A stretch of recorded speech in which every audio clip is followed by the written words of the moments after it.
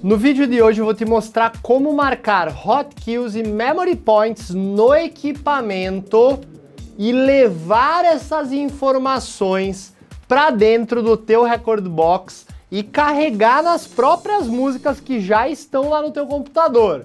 Bora pro vídeo!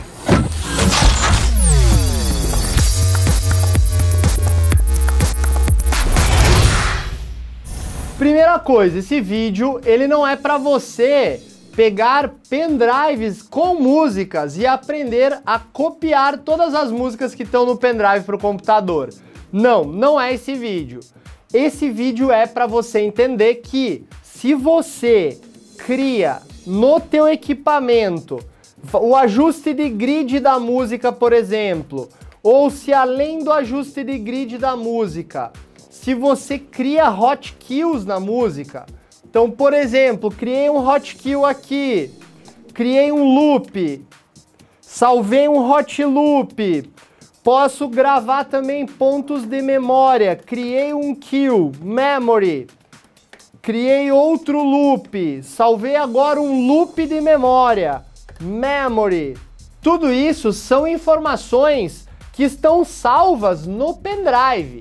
Agora, beleza, se eu quiser essas mesmas configurações em outros pendrives, eu basta eu carregar esse pendrive aqui no meu computador e olha lá, eu vou colocar o pendrive no Record Box e agora você vai entender que pelo Record Box você pode também puxar as informações que estavam né, sendo colocadas nas músicas. E agora eu venho aqui então no Sync Manager. Quando eu abro o Sync Manager, eu preciso encontrar ó, o pendrive aqui.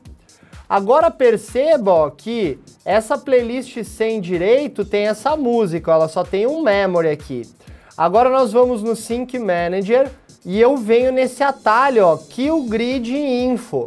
Quando eu clico para a seta para a esquerda, olha o que, que vai vir da música, ó. Kill point em loop point, hot kill, beat grid e também track information, tipo coros, comentários, as estrelinhas. Agora, tudo que eu fiz no CDJ, dos hot kills, hot loops, tudo isso que a gente viu, foi então pré-carregado para o computador. Perceba que agora, essa música aqui, por exemplo, ela tem os hotkeys que a gente criou lá no equipamento. Interessante, né? Então, se você prefere fazer os teus hotkeys, fazer os teus loops, teus memories no equipamento e quiser salvar no computador para daí carregar para outros pendrives a informação, é isso que você aprendeu no vídeo de hoje. Não esquece de dar aquele teu joinha esperto pro prof.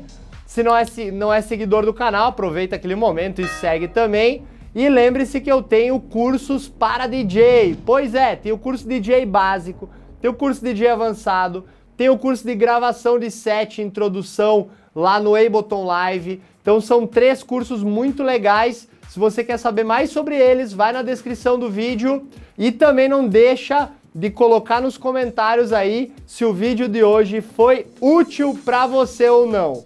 É aquele rapidinho, mas que sempre traz boas informações. Um grande abraço, até o próximo.